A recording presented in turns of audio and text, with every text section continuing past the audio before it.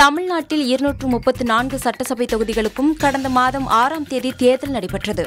இதில் எழுபத்தி இரண்டு புள்ளி எண்பத்தி ஒரு சதவீத வாக்குகள் பதிவாகியிருந்தன.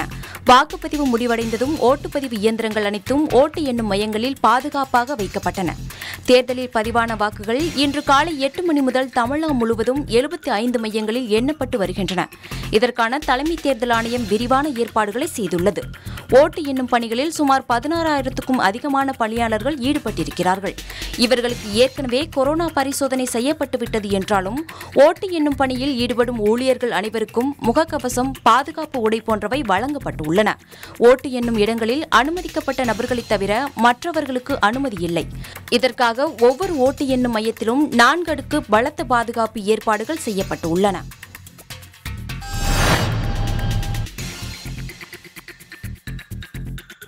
புதுச்சேரி மாநிலத்தில் மொத்தம் முப்பது சட்டப்பேரவை தொகுதிகள் உள்ளன. இதில் புதுச்சேரி மாவட்டத்தில் உள்ள இருபத்தி மூன்று தொகுதிகளுக்கு புதுச்சேரி லாஸ்பேட்டையில் உள்ள அரசு பெண்கள் தொழில்நுட்ப கல்லூரி மோதிலால் நேரு தொழில்நுட்ப கல்லூரி தாகூர் அரசு கலைக்கல்லூரி ஆகிய மூன்று மையங்களிலும் காரைக்கால் மாவட்டத்தில் உள்ள ஐந்து தொகுதிகளுக்கு அங்குள்ள அண்ணா அரசு கலைக்கல்லூரியிலும் மாஹே ஏனாம் ஆகிய தொகுதிகளுக்கு அங்குள்ள அரசு மண்டல நிர்வாக அலுவலக மையத்திலும் வாக்கு எண்ணிக்கை நடைபெற்று வருகிறது.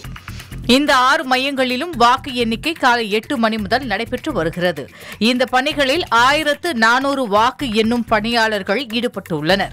இரண்டாயிரத்து ஐநூறு போலீசார் பாதுகாப்பு பணியில் ஈடுபட்டுள்ளனர். வாக்கு எண்ணும் பணிக்காக தேர்தல் துறை அனைத்து ஏற்பாடுகளையும் செய்துள்ளது. முன்னணி நிலவரம் காலை பதினோரு மணியளவில் தெரியவரும். முதல் கட்டமாக எண்ணப்படும் தொகுதிகளின் இறுதி நிலவரம் பிற்பகல் ஒரு மணிக்குள்ளும் அடுத்த கட்ட தொகுதிகளின் இறுதி நிலவரம் மாலை ஆறு மணிக்குள்ளும். இறுதிக்கட்ட தொகுதிகளின் நிலவரம் நள்ளிரவு பனிரெண்டு மணிக்குள்ளும் தெரியவரும் என்று கணிக்கப்பட்டுள்ளது.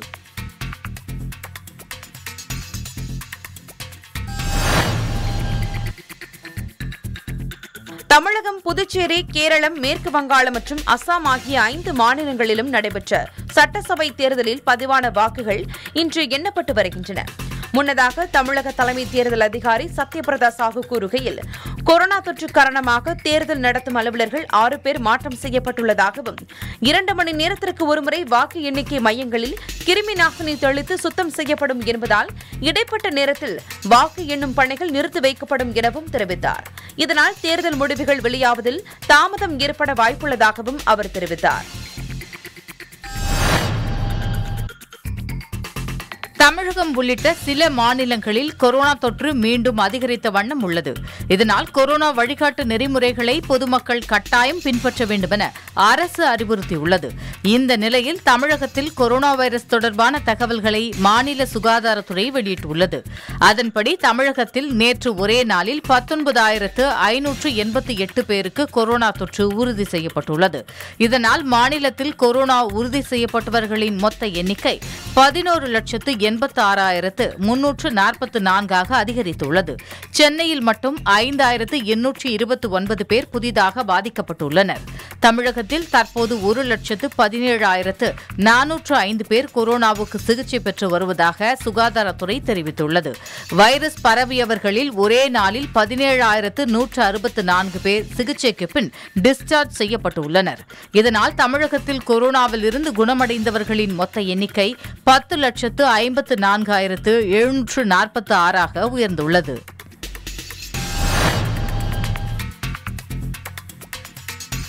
கேரளாவில் ஒரே நாளில் மேலும் முப்பத்தி ஐந்தாயிரத்து அறுநூற்று முப்பத்தி ஆறு பேருக்கு கொரோனா தொற்று உறுதி செய்யப்பட்டுள்ளது. இதனால் கொரோனா பாதிப்பு மொத்த எண்ணிக்கை பதினாறு லட்சத்து ஆறாயிரத்து எண்ணூற்று பத்தொன்பதாக உயர்ந்துள்ளது. கொரோனா பாதிப்புக்கு ஒரே நாளில் நாற்பத்தி எட்டு பேர் உயிரிழந்துள்ள நிலையில் இதுவரை ஐந்தாயிரத்து முன்னூற்று ஐம்பத்தி ஆறு பேர் உயிரிழந்தனர். கொரோனா தொற்று பாதிப்புடன் மூன்று லட்சத்து இருபத்தி மூன்று ஆயிரத்து இருநூற்று இருபத்தி எட்டு பேர் சிகிச்சை பெற்று வருகின்றனர்.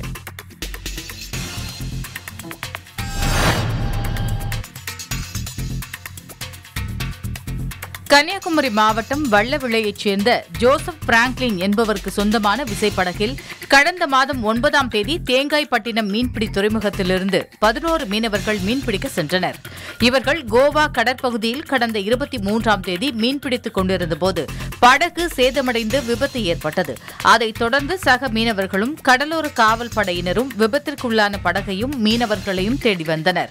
கடந்த இருபத்தி எட்டாம் தேதி கடலில் தத்தளித்த பதினோரு மீனவர்களை கடலோர காவல்படை மற்றும் சக மீனவர்கள் பத்திரமாக மீட்டு தேங்காய்பட்டினம் துறைமுகத்திற்கு அழைத்து வந்தனர். கடலில் எட்டு நாட்கள் தத்தளித்து உயிர் தப்பிய மீனவர்களை உறவினர்கள் ஊர் பிரமுகர்கள் கிள்ளியூர் சட்டமன்ற உறுப்பினர் ராஜேஷ்குமார் பங்கு தந்தையர்கள் கன்னியாகுமரி மக்களவை வேட்பாளர் விஜய் வசந்த் உள்ளிட்டோர் நெகிழ்ச்சியுடன் வரவேற்றனர்.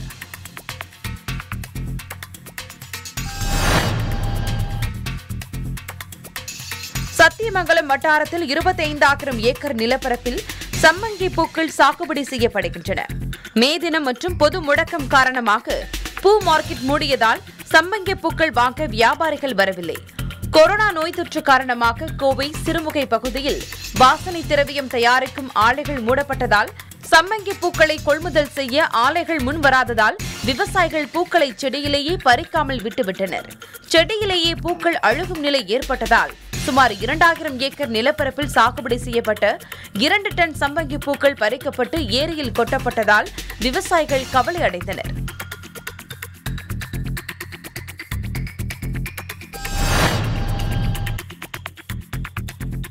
ஓமலூர் அருகே நெசவாளர்கள் போராட்டத்தை தொடர்ந்து சர்வோதயா சங்கத்தின் சார்பில் புடவை கொள்முதல் துவங்கியுள்ளது. சேலம் மாவட்டம் ஓமலூரை அடுத்துள்ள தாரமங்கலம் ஒன்றியத்தில் மல்லியக்குட்டை அமரக்குந்தி ஓலைப்பட்டி ராசானூர் ரெட்டியப்பட்டு உள்ளிட்ட கிராமங்களில் ஆயிரத்திற்கும் மேற்பட்ட கைத்தறி நெசவாளர்கள் உள்ளனர். அவர்கள் மத்திய அரசின் கட்டுப்பாட்டில் உள்ள அகில இந்திய சர்வோதயா சங்கத்தில் உறுப்பினராக உள்ளனர். நெசவாளர்களுக்கு மானிய தொகை நாற்பது முதல் அறுபது சதவீதம் வழங்கப்படுகிறது. அந்த தொகையை பெற நெசவாளர் அல்லாதோர் பெயரில் வங்கி கணக்கு தொடங்கி மானிய தொகையை சங்க அதிகாரிகள் புரோக்கர்கள் சுருட்டுவதாக புகார்கள் எழுந்தன. இதையடுத்து சர்வோதய சங்கத்தினர் நெசவாளர்களுக்கு வழங்கிய உற்பத்தி பொருட்கள் மற்றும் உதவிகளை நிறுத்தியதுடன் பட்டு கொள்முதலையும் நிறுத்தினர். பாதிக்கப்பட்ட மல்லிக்குட்டையைச் சேர்ந்த நெசவாளர்கள் போராட்டத்தில் ஈடுபட்டனர். இந்த நிலையில் தற்போது மீண்டும் வழக்கம் போல பட்டுப்படவை கொள்முதலை துவங்கியதுடன் நெசவாளர்களுக்கான சலுகைகள் நூல் உள்ளிட்ட அனைத்தும் வழங்குவதாக சர்வோதயா சங்கத்தினர் தெரிவித்துள்ளனர். இதனால் நெசவாளர்கள் மகிழ்ச்சி அடைந்துள்ளனர்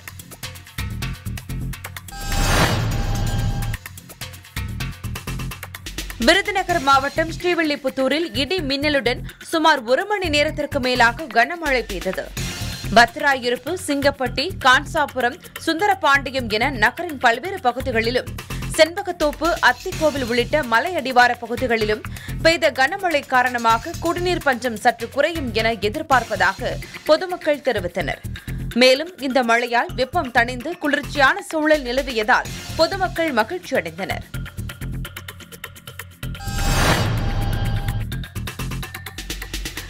மாவட்டம் மற்றும் அதன் சுற்றுவட்டார பகுதியில் கடந்த சில நாட்களாக வெயிலின் தாக்கம் அதிகமாக காணப்பட்டது.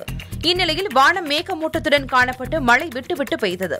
இந்த மழையானது மேற்கு தொடர்ச்சி மலை முருகமலை கும்பக்கரை சோத்துப்பாறை அணை பெரியகுளம் மற்றும் அதன் சுற்றுவட்டார பகுதியான தேவதானப்பட்டி ஜெயமங்கலம் வடுகப்பட்டி லட்சுமிபுரம் உள்ளிட்ட பகுதிகளில் சுமார் ஒரு மணி நேரத்திற்கு மேலாக பெய்ததால் பொதுமக்களும் விவசாயிகளும் மகிழ்ச்சி அடைந்தனர்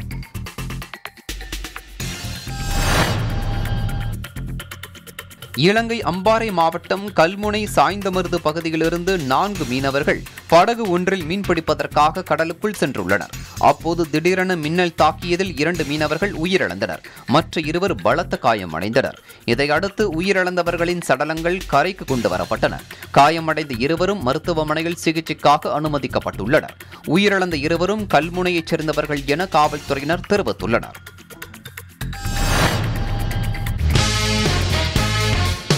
நல்லா கேட்கிறாங்கயா டிடிஎல்?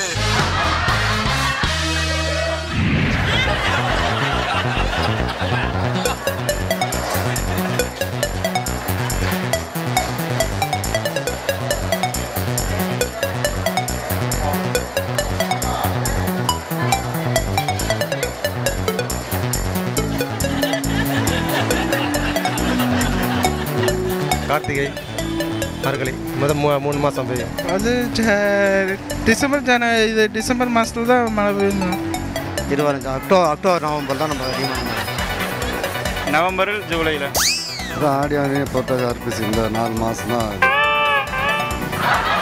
தெரில ஜி எனக்கு நவம்பர் ஐபிஎஸ் ஐபிஎஸ் நாலாவது மாதம் கார்த்திகை கார்த்திகை மாதம் டிசம்பர் மாதம் மழை பெய்யும் சார் மழை வைகாசி மாதம்.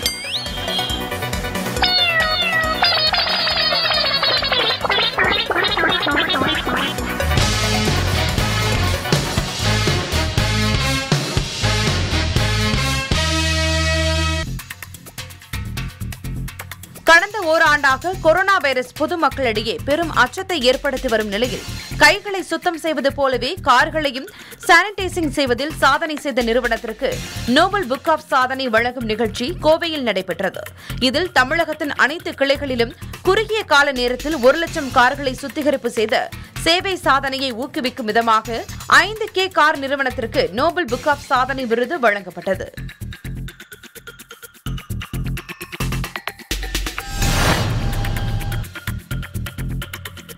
மயிலாடுதுறை மாவட்டம் ஆரோக்கியநாதபுரத்தில் உள்ள நகராட்சி திருமண மண்டபத்தில் கொரோனா பாதுகாப்பு மையம் உள்ளது. இங்கு தொற்றுடையவர்கள் தனிமைப்படுத்தி சிகிச்சை அளிக்கப்பட்டு வருகிறது. இவர்களுக்கு அரசு சார்பில் உணவு வழங்கப்படுகிறது. இவ்வாறு வழங்கப்படும் உணவு தரமற்ற முறையில் இருப்பதாக நோய் தொற்றால் பாதிக்கப்பட்டுள்ளவர்கள் உணவை வாங்க மறுத்து மீண்டும் திருப்பி அனுப்பி வாக்குவாதத்தில் ஈடுபட்டனர். காவல்துறையினர் சமாதானம் செய்து மீண்டும் உணவு வழங்க ஏற்பாடு செய்தனர். சிகிச்சை மைய ஊழியர்களிடம் வாக்குவாதம் செய்யும் வீடியோ சமூக வலைதளங்களில் வைரலாகி வருகின்றது.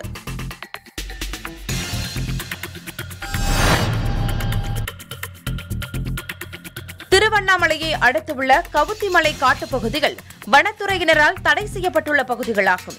இப்பகுதியில் அத்துமீறி நுழைந்த இருவர் மலைப்பகுதி முழுவதையும் ஆளில்லா விமானம் மூலம் படமெடுத்து அவற்றை வலைதளங்களில் பதிவேற்றம் செய்துள்ளனர். இதையடுத்து திருவண்ணாமலையைச் சேர்ந்த சரவணன் மற்றும் அருணாச்சலம் என்ற அந்த இருவரை வனத்துறையினர் கைது செய்தனர். மேலும் அவர்களுக்கு தலா நாற்பத்தைந்தாயிரம் வீதம் இரண்டு பேருக்கும் தொன்னூறாயிரம் ரூபாய் அபராதம் விதித்தனர். இதையடுத்து அந்த இருவரும் அபராதத்தை செலுத்திவிட்டு சென்றனர்.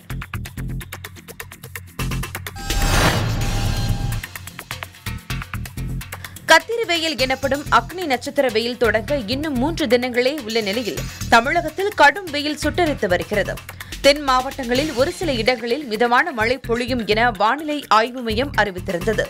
இந்நிலையில் விருதுநகரில் கரும் மேகங்கள் சூழ்ந்து விருதுநகர் மற்றும் சுற்றுவட்டார பகுதிகளான அல்லம்பட்டி பாண்டியன் நகர் சூலக்கரை உள்ளிட்ட பகுதிகளில் பலத்த காற்றுடன் மழை பெய்தது.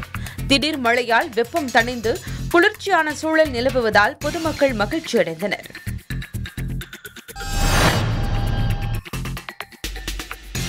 நாகை மாவட்டம் வேதாரண்யம் அரசு மருத்துவமனையில் இருந்து கொரோனா நோயாளிகள் ஐந்து பேர் நாகை அரசு மருத்துவமனைக்கு நூற்றி எட்டு ஆம்புலன்ஸ் மூலம் சென்றுள்ளனர்.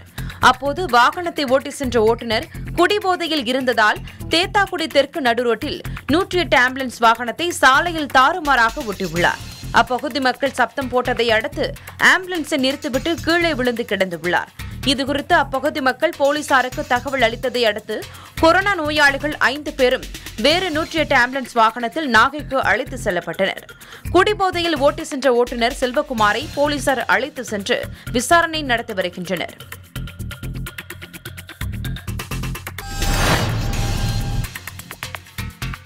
கரூர் அருகே பிரபல பிரியாணி கடை சமையல் குடோனில் பிரியாணி சமைக்க கெட்டுப்போன கோழி இறைச்சி உபயோகப்படுத்தியதால் அந்த குடோனுக்கு சீல் வைக்கப்பட்டுள்ளது. கரூர் மாவட்டம் வேலாயுதம் பாளையம் பகுதியில் பிரியாணி கடை ஒன்று செயல்பட்டு வருகிறது. இந்த கடைக்கு கரூர் மாவட்டம் முழுவதும் பத்துக்கும் மேற்பட்ட கிளைகள் உள்ளன. கடையில் விற்கப்படும் பிரியாணி கரூர் முல்லை நகர் பகுதியில் உள்ள சமையல் குடோனில் தயாரிக்கப்படுகிறது. இங்கு சமைக்கப்படும் கோழிக்கறி அசுத்தமாகவும் பழைய கெட்டுப்போன கோழி இறைச்சிகளை குளிர்சாதன பெட்டிகளில் பல நாட்கள் வைத்து உபயோகித்து வருவதாகவும் புகார் எழுந்தது. புகாரின் பேரில் உணவு பாதுகாப்புத்துறை அதிகாரிகள் மற்றும் சுகாதாரத்துறை அதிகாரிகள் ஆய்வு மேற்கொண்டனர். அப்போது கெட்டுப்போன கோழிக்கறியை சமைக்க வைத்திருந்தது தெரிய வந்தது. இதையடுத்து அதிகாரிகள் அவற்றை கைப்பற்றி அழித்தனர். பின்னர் சமையல் செய்யும் இடத்திற்கு சீல் வைக்கப்பட்டு பத்தாயிரம் ரூபாய் அபராதமும் விதிக்கப்பட்டது.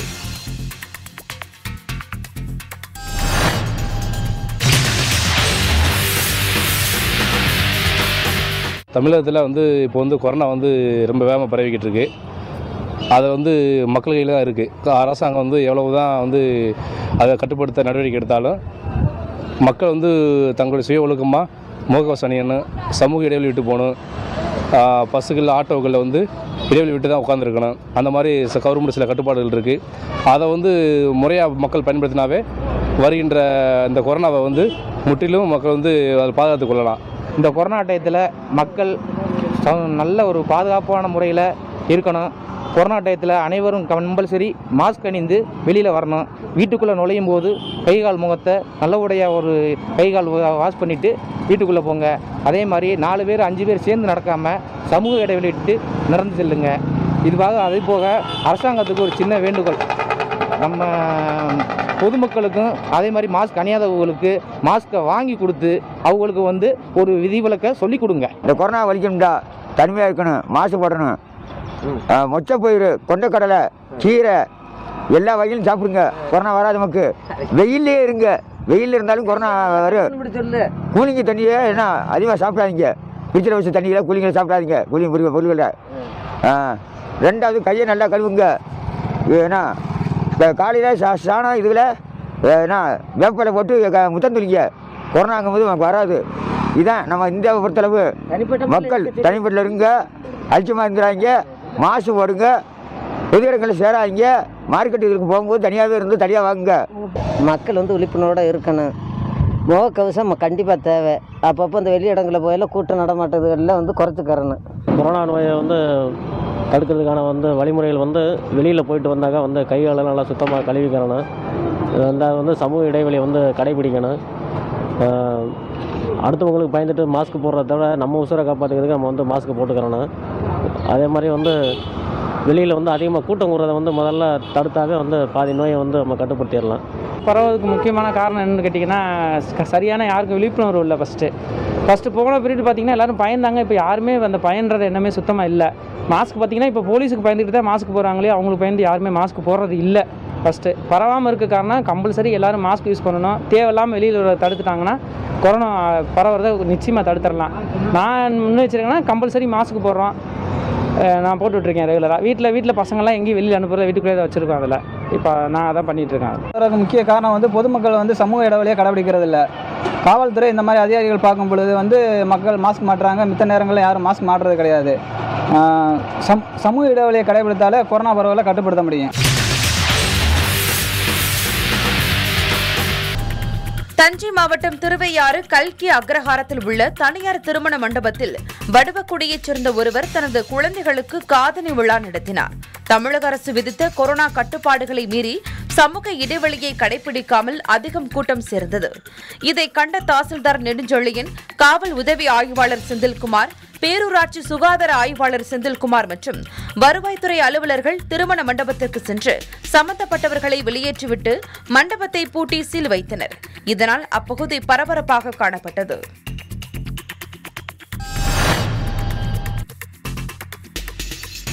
நாமக்கல் மாவட்டம் திருச்செங்கோடு கூட்டப்பள்ளி காலனியில் வசிக்கும் இளவரசன் என்பவர் தனது குடும்பத்தினருடன் மோளியப்பள்ளியில் உள்ள தனது மாமனார் வீட்டிற்கு சென்றுள்ளார் இந்நிலையில் அவருடைய வீட்டின் குளியலறை ஜன்னல் திறந்து கிடந்துள்ளதை பார்த்து அக்கம் பக்கத்தினர் இளவரசனுக்கு தகவல் கொடுத்துள்ளனர் அவர் வந்து பார்த்தபோது குளியலறை ஜன்னல் வென்டிலேட்டர் கண்ணாடிகளை கழற்றி எடுத்துவிட்டு வீட்டுக்குள் புகுந்த நபர்கள் பீரோவை உடைத்து பதினைந்து பவுன் நகையையும் எட்டாயிரம் ரூபாய் பணத்தையும் திருடிச் சென்றது தெரியவந்தது.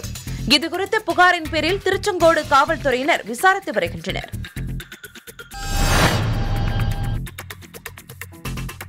விருதுநகர் மாவட்டம் ராஜபாளையத்தில் வெயிலின் தாக்கம் கடந்த சில நாட்களாக அதிகமாக காணப்பட்டது. இந்நிலையில் சத்திரப்பட்டி தளவாய்புரம் முகவூர் செட்டியார்பட்டி உள்ளிட்ட பல்வேறு இடங்களில் வெயிலின் தாக்கம் சற்று குறைந்து இடியுடன் கூடிய லேசான மழை பெய்தது. இதனால் குளிர்காற்றும் வீசியதால் கடந்த ஒரு மாதமாக இருந்த வெப்பத்தின் தாக்கம் குறைந்து அனைத்து பகுதிகளிலும் குளிர்ச்சியான சூழல் நிலவியது. இதனால் ராஜபாளையம் மற்றும் சுற்றுவட்டார பகுதிகளில் வசிக்கும் பொதுமக்கள் மகிழ்ச்சி அடைந்தனர்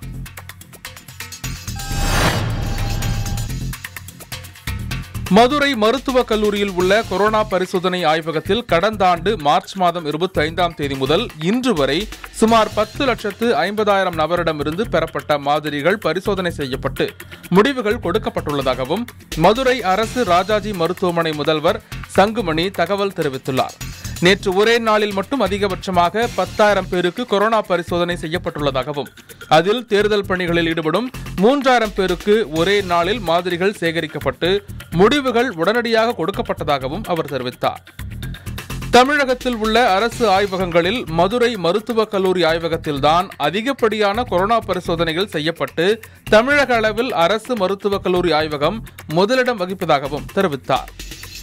இந்த இக்கட்டான கோவிட் நெருக்கடி காலத்தில் அயராமல் பணியாற்றி சேவையாற்றி வரும் அரசு மருத்துவமனை மருத்துவர்கள் செவிலியர்கள் பணியாளர்கள் ஊழியர்கள் ஆய்வக ஊழியர்கள் என அனைவருக்கும் நன்றியை தெரிவித்துக் கொள்வதாகவும் அரசு மருத்துவமனை முதல்வர் சங்குமணி தெரிவித்தார்.